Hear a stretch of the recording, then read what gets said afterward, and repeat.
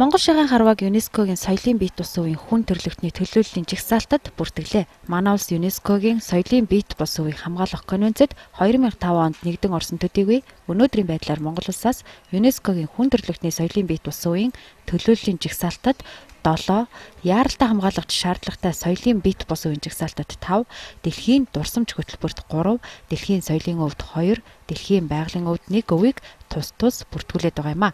Ямар ямар төрлүүд ЮНЕСКОд бүртгэгдсэнийг хүлээн авч үзнэ үү. ЮНЕСКОгийн соёлын бие тус үеийн жагсаалтад хүн төрөлхтний соёлын бие тус үеийн төлөөлийн жагсаалтад Монгол үндэстний баяр наадам 2010 онд Монгол үндэстний хөөмийн урлаг 2010 онд бүртгэгджээ.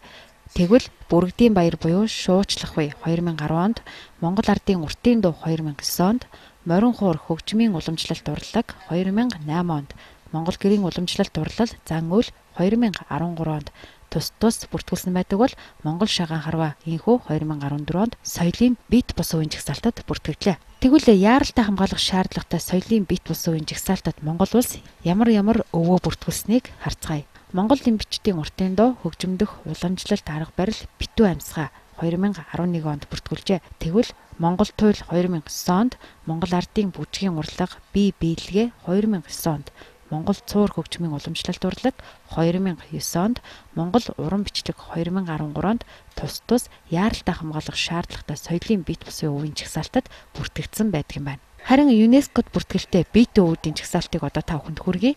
Дэлхийн соёлын өвд Монгол Алтай нурууны хадны зургийн зохицолбор 2011 онд Орхны хөндийн дурсгалт газар 2004 онд тус тус бүртгэгдсэн байдаг юм байна.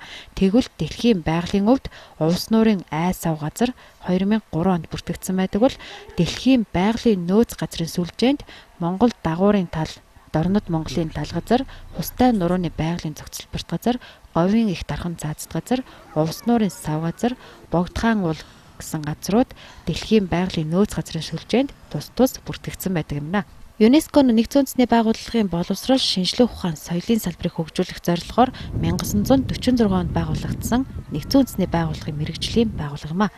Энэ байгууллагад тухайн орны өв соёл бүртгэгдэнэ гэдэг нь өвөрмөц соёлыг хамгаалах, түгээнд дэлгэрүүлэх, мөн олон улсад данслагдах болж байгаа юм а. Нөгөө талаар бусад улс тухайн бит бус суулан бит төвүүдийг хуулбарлан авах нь хориотой болох юм а.